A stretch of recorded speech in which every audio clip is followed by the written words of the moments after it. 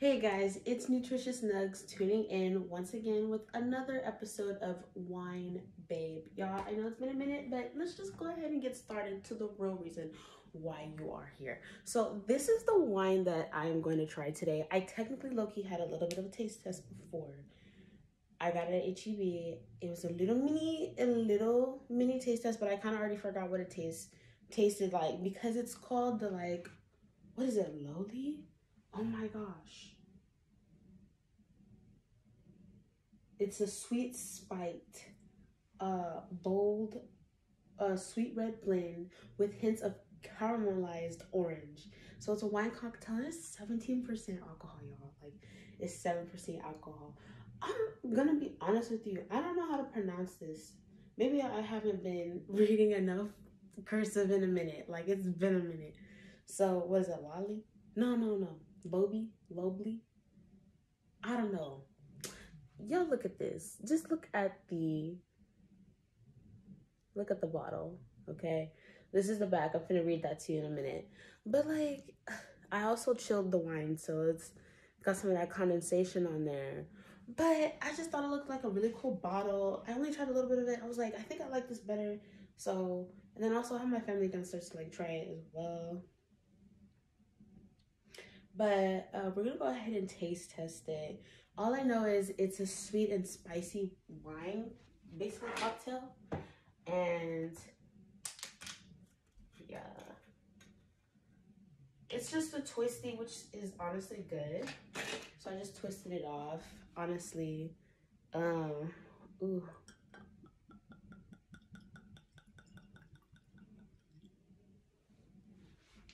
I almost forgot how to do the actual wine thing. What is it? Uh, how you're supposed to taste test the wine. Okay. Okay. My palate is somewhat fresh. I have some water. Let me make it more fresh because I technically have tea. Hold on.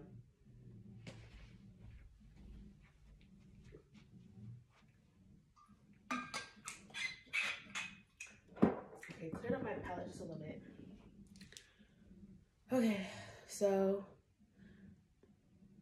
you're supposed to like tilt it or something like that and I'll let the oxidization happen. It's been a minute, y'all. I might have to go back to my own, maybe like my first wine babe video to see how the proper way to taste test wine is to really see if you'll like it and if this is a good wine because technically I just had like a little shot of it. So I don't remember how it tasted. That way I can't really, I, just want to at least grab it again so I can explain it for you. But um, let's see. Okay, I know you have to do like sips and like, okay, let's show.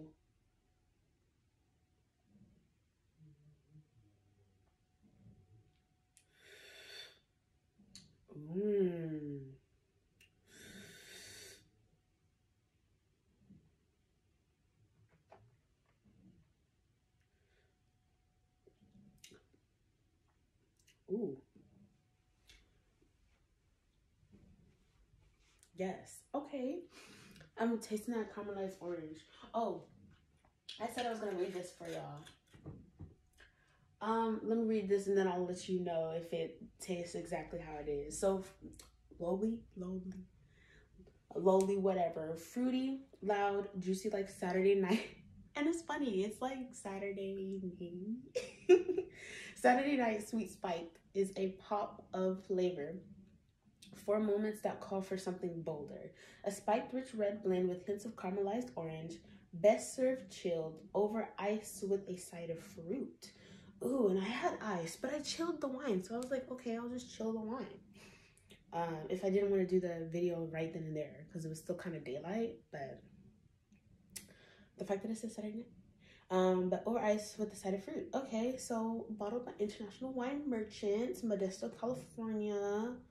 Contains sulfites. then the government warning label. But remember, again, this is 17% alcohol, y'all. Again, look at the bottle. Let me taste it again.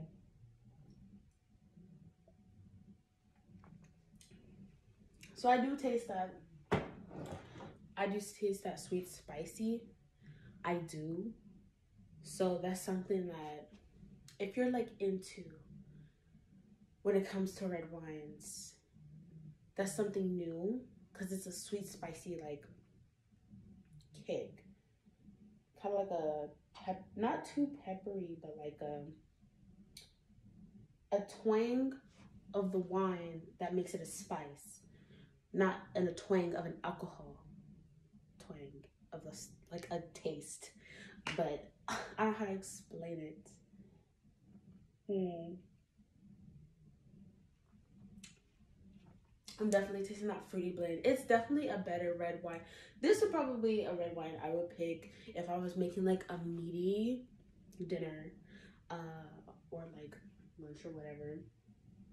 Only because I feel like it would really like wash it down because that red wine helps to wash it down anyway.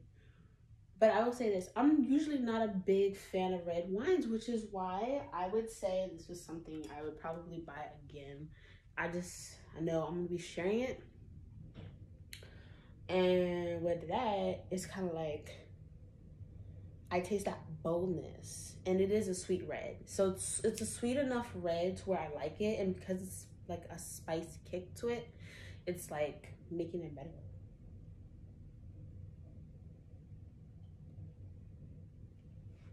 Mm. Yeah.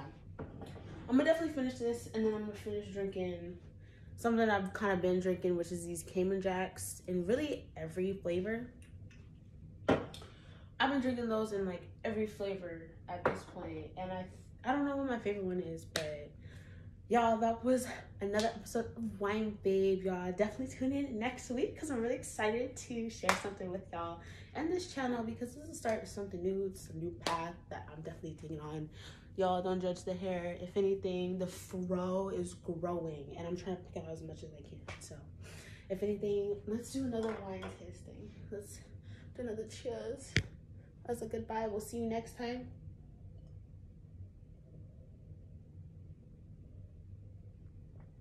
Maybe I should finish it. Hold on. Mm. Great. Bye.